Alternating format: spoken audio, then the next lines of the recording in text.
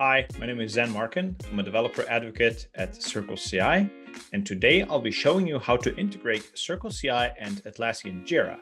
Writing code is only a small part of software development process and software delivery lifecycle. As developers, we have to communicate not only within our teams, but also folks in other development teams and other parts of the organizations, design, QA, with the stakeholders, and so on.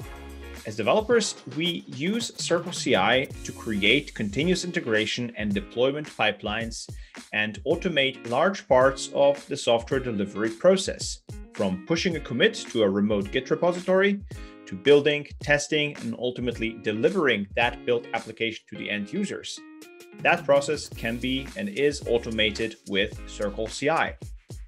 On the other hand, teams often use Atlassian Jira to track work that we're doing, as well as a single pane of glass view of what's happening to the software projects across our entire organizations. The challenge then is getting information from where the software is built and deployed, that's in Circle CI, to where the products as a whole are being managed and tracked in Atlassian Jira. Integrating Circle CI with Jira solves that problem for many development teams. And now let's take a look at how to set this up and use that integration. To get started integrating CircleCI and Jira, the best way is to follow the instructions on the CircleCI docs.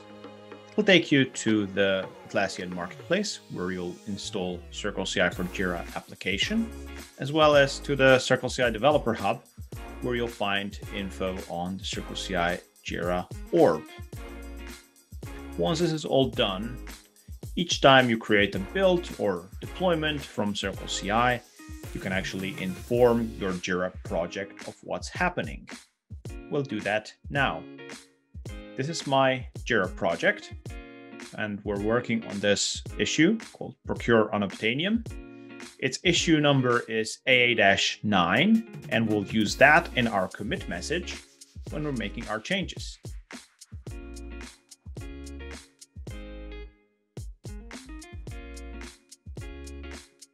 Now that we've pushed, CircleCI will take this commit, make its build, make its deployments, and uh, this will reflect in our Jira application.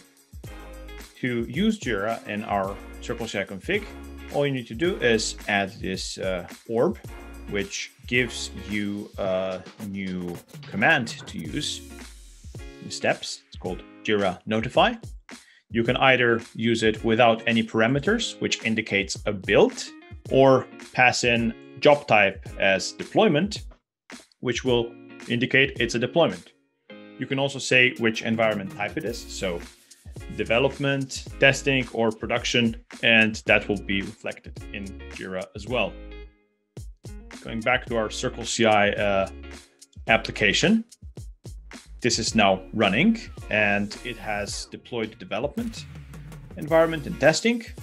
And now it's waiting for our approval.